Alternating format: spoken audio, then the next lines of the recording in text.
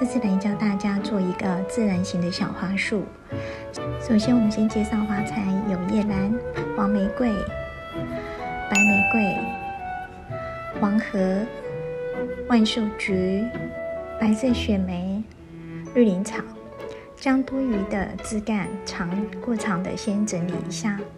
我们先整理花材，把不必要的叶子去除。好，整理好之后，我们就开始要组合了，把它组成一个小花束，将身将所有的花材都组合起来，大概都一样的高低，把它组合起来。